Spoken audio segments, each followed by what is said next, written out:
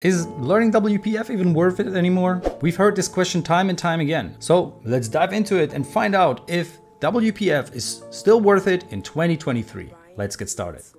Part 1 WTF is WPF. First off, let's see what WPF is even about. Standing for Windows Presentation Foundation, WPF is a graphical subsystem by Microsoft designed for creating rich desktop applications with intricate user interfaces. Pretty simple, really. If you want to build a desktop application, WPF is pretty much your best option out there. Or is it? Why should you care about WPF anymore in 2023? Well, you just have to take a look at where it's at. With a strong community and ongoing updates, it seems to, at least, not be slowing down. However, no matter what your goal as software engineer is, WPF is for sure not your only option out there. This framework has a lot of competition to deal with. You might be thinking of a few of them right now. Let's look at some that we thought to be interesting and see how WPF compares to them. Part 2 Why choose WPF? So, you're wondering why WPF when there are other frameworks?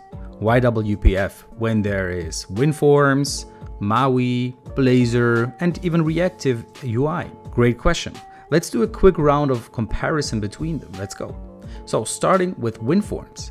We can see this as the grandparent of WPF, older but still functional. WinForms is easier to learn and great for simple, quick applications. However, it lacks the modern UI features and extensive customization capabilities that WPF offers. If you're looking to create a more dynamic and visually appealing application, WPF is the way to go. What about MAUI? MAUI is basically the new guy. Surely has potential, but still needs time to get to its full strength. Designed for creating cross-platform applications, MAUI is excellent for building apps that run on almost any platform, but it's not as mature as WPF in terms of features and community support. If you're focusing solely on Windows desktop application, WPF still has the edge. I've also heard about Blazor, so what about that? Well, Blazor is primarily used for web development. However, it is also capable of building desktop apps.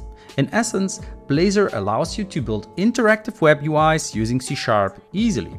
It's an amazing technology for sure, but it is mainly focused on a different goal than WPF. This means that if your focus is on desktop applications, WPF is again going to be more suitable for your needs. But then there is also Reactive UI. Reactive UI is a functional reactive framework for .NET, meaning that if functional programming is a need, there is no using WPF for me. But there is one thing. This one doesn't have to be seen as a competitor, as it can be used with WPF, serving as a good complement to WPF rather than a competitor. Reactive UI allows for a more functional approach to UI while making use of all the robust tech that WPF brings to the table.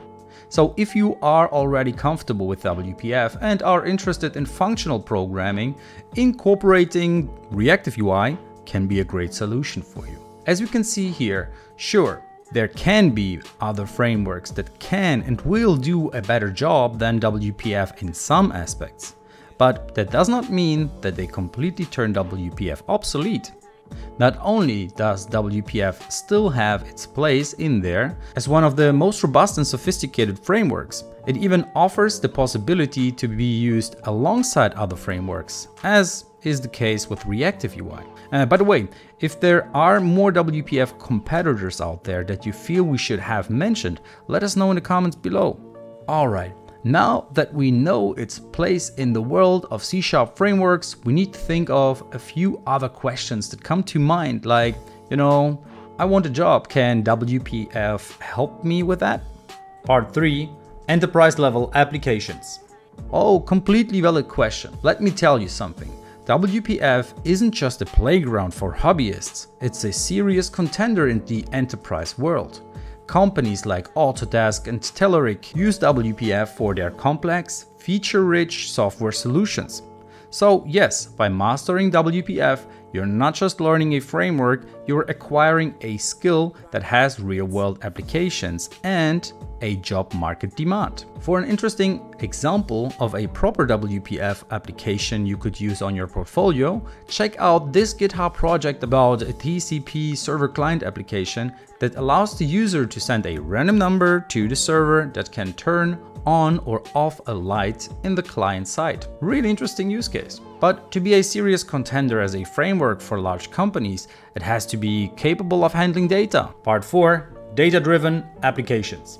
Well, as it turns out, WPF is a powerhouse when it comes to data-driven applications. Its data binding capabilities allow you to create dynamic UIs that can interact seamlessly with various data sources.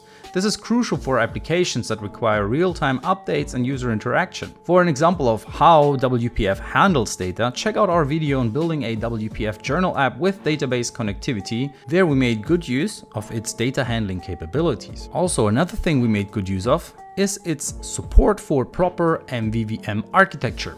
And with that, a quick shout out to our sponsor, NordVPN. You probably have heard about them before. They are the best when it comes to VPNs out there. I've tried many different VPN services, at least five or six I believe, and all of them were trash to a degree. Every single one of them was lacking something that NordVPN just has.